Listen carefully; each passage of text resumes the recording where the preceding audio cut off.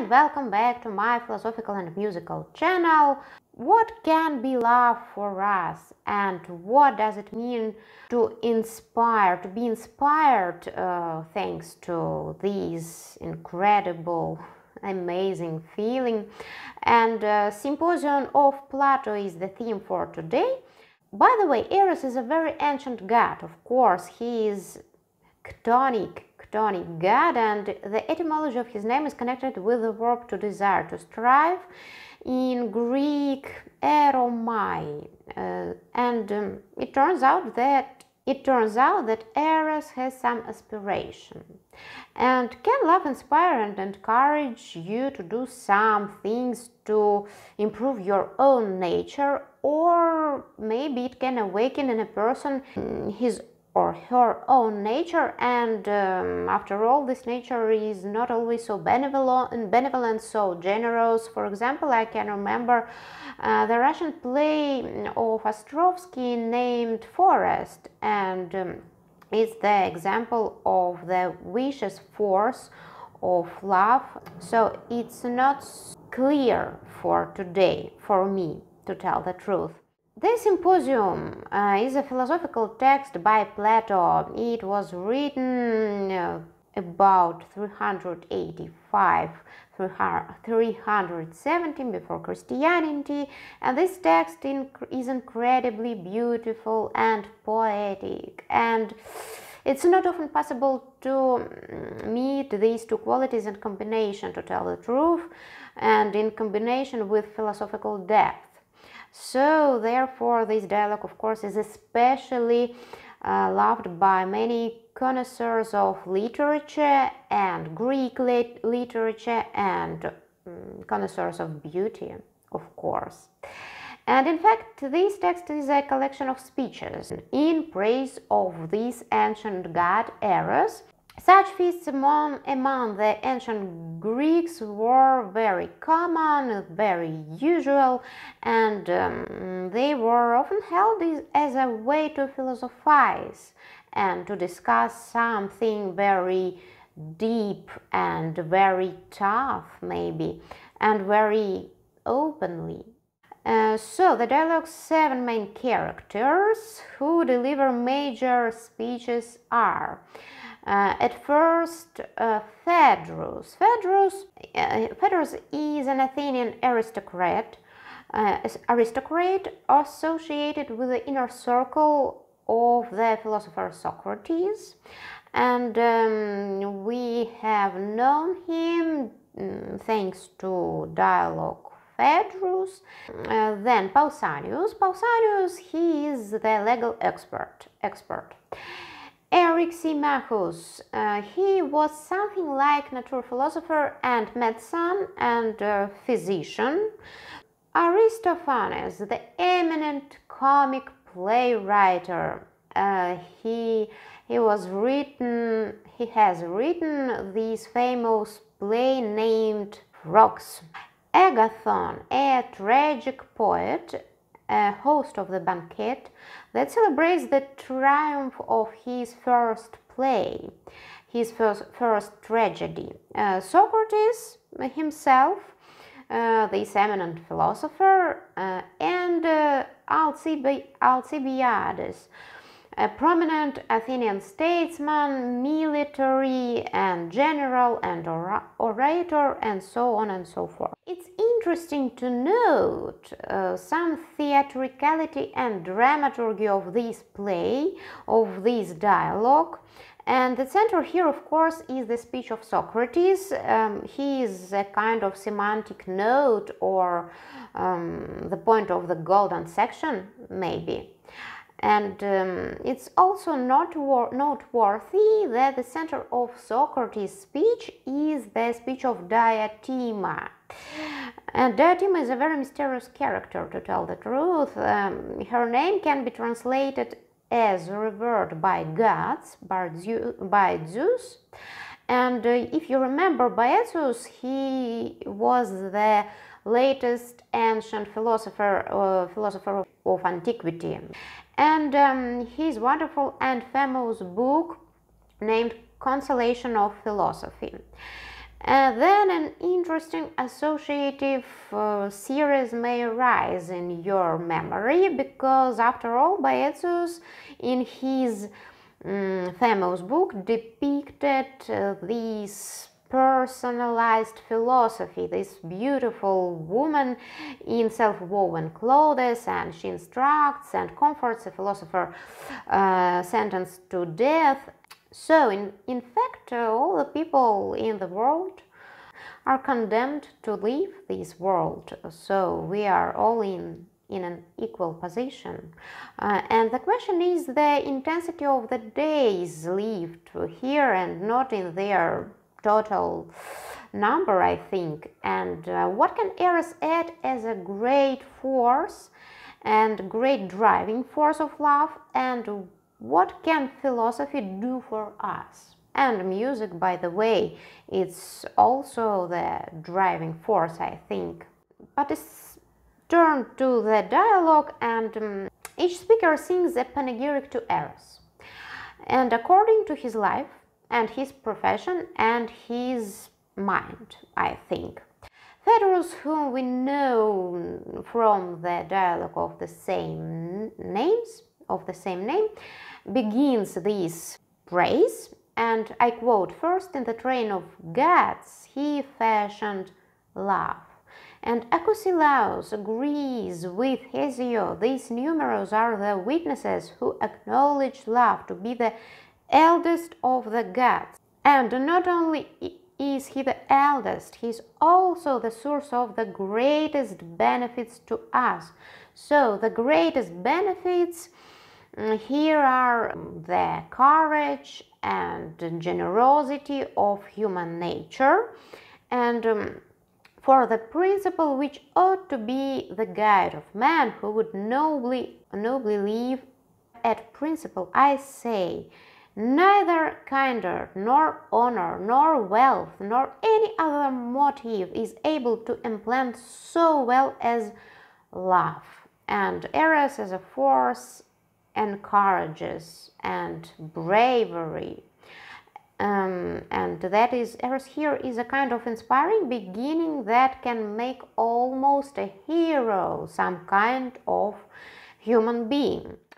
Pausanias introduces a dialectical point of view and dialectical point with his speech. He talks about the duality of Aphrodite and Eros mm, accordingly to Aphrodite. I quote, and I am not right in asserting that they are two goddesses. The elder one, having no mother, who is called the heavenly Aphrodite, she is the daughter of Uranus. The younger, who is the daughter of Zeus and Dione, here we can call common or Pandemos, by the way. Uh, and the love who is her fellow worker is rightly named common, as the other love is called heavenly. So, there is an aspiration more vulgar and base, and um, it's uh, connected with the body. And we have more um, higher uh, yeah, we have the, the highest form of love um, according to Pausanias to the soul and love for the soul and virtue and these motives will be developed uh, by Socrates a little bit later. Eryximachus, he talks about the power of love that is spread throughout nature. He is a nature, nature philosopher. Yeah and the love more especially which is concerned with the good and which is perfected in company with temperance and justice, whether among gods or men, has the greatest power and is the source of all our happiness and harmony and makes us friends with the gods who are above us and with one another. So, Love is something like united force. As you can see, Aristophanes, Aristophanes, who finally got rid of the hiccups that tormented him, and um, which prevented him from speaking. He tells about the myths of integral people, and it's one of the most famous myths uh, from Plato's dialogues, you know, mm, I quote, Now the sexes were three, and such as I have described them, because the sun, moon, and earth are three, and the man was originally the child of the sun, the woman of the earth, and the man woman of the moon, which is made up of sun and earth, and they were all around and moved round and round, like their parents circles.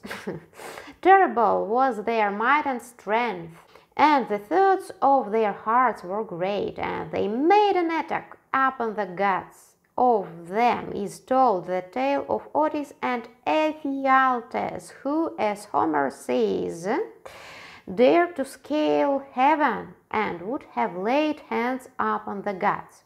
So Zeus uh, decided to separate these very two bravery people and they were separated by Zeus and suffered so much uh, that the gods had to come up with this, this possibility of connecting the lost halves. And that is happened and Eros is the desire to find the integrity of our no, our own existence our own inner nature you know Agathon. Agathon and his speech may be regarded as self-consciously poetic and rhetorical, of course, and um, it is composed in the way of the sophist, gently mocked by Socrates. Um, and Agathon paints Eros as an eternally, eternally young and beautiful god but this is exactly what Socrates refutes after this speech. So,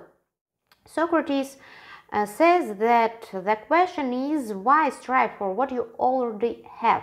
If the, this Eros is already so young and so beautiful what is the reason for to strive to this beauty?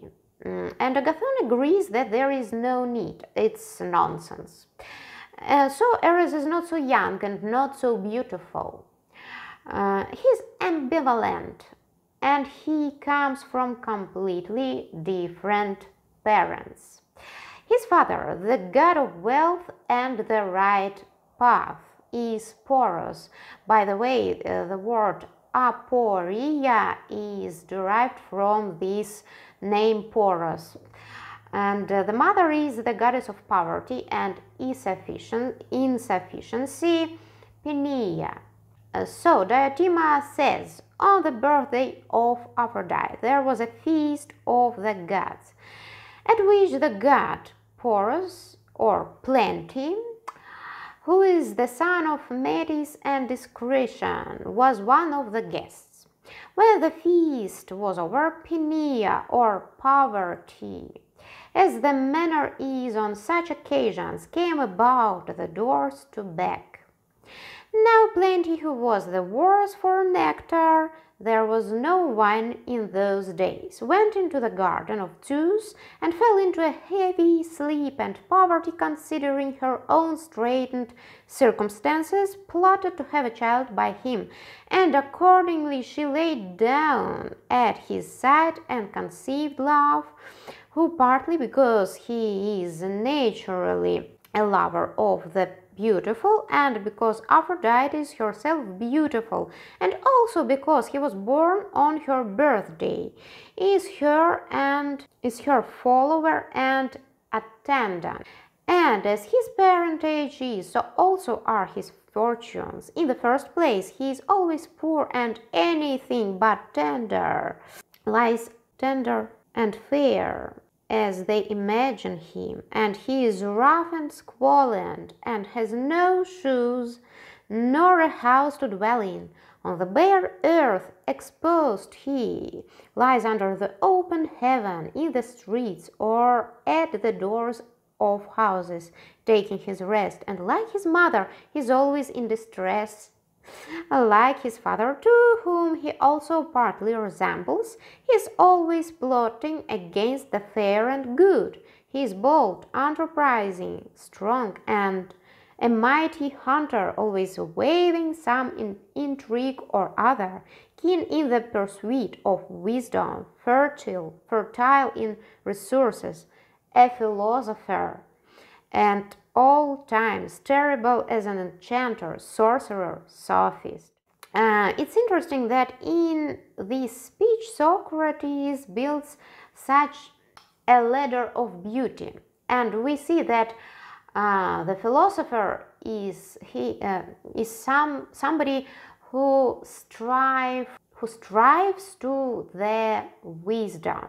He is something in between, like Eros and um, neither do the ignorant seek after wisdom. For wisdom is a most beautiful thing, and love is of the beautiful. And therefore, love is also a philosopher. Eros is a philosopher for Plato. And about ladder of beauty, we contemplate a sensual reality at first. Sensual reality, a beautiful body, and lovely. Then we began to love the soul and uh, the soul for its beauty, for moral um, beauty, and for moral advantages advantages. After that the love of contemplating the beautiful in the form of sciences we strive to the sciences uh, pure speculations awakens to the philosophy and only at the end we can see what is inaccessible to the ordinary eyes. Good and beauty as the highest ideas, eidos. You know this. This word for Plato was very significant, is the key word, eidos. So the final speech is by Alcibiades uh, who sings a panegyric to Socrates and his virtue, uh, to Socrates himself and his valorous advantages, virtues, and so on and so forth. And they are direct reference to the retinue of Dionysus, by the way, as Alcibiades compares Socrates uh, with the companion of Dionysus. Moreover, with his teacher, Silen, with Silenus. Silenus or Silen? Silent. I don't know exactly, sorry, uh, how it should be pronounced in English. I'm beginner with Greek's analogies in English. We see some amazing combination of Apollonian and Dionysian principles here. Um, which are combined in this dialogue and uh, although Nietzsche attacked Socrates so far so far silly, precisely because he was too clearly adherent of the Apollonian, Apollonian principle, mm, rational moralizing principle, but here it's not so clear and not so distinguished. Okay, thank you for your attention. I hope that it was something at least uh, at least useful for you because I find this text absolutely beautiful. I I admire Plato and his dialogues and his literary abilities and philosophical depths, depths of course too. Thank you and all good to you. Be happy and see you later.